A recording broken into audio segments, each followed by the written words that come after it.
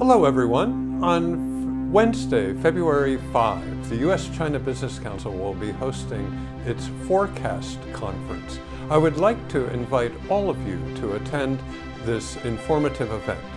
U.S. China relations are going through a very interesting and difficult time uh, currently following the Phase One agreement uh, announced by President Trump and Liu He on January 15th. Please join us on Wednesday, February 5, to discuss this agreement in detail uh, and to discuss the microeconomic implications of the agreement for each of your companies.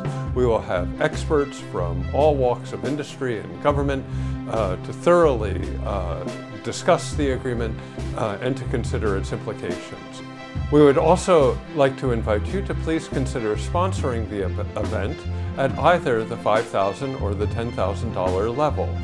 The Wednesday, February 5th forecast of the U.S. China Business Council is for all companies that are interested in the U.S. China business relationship.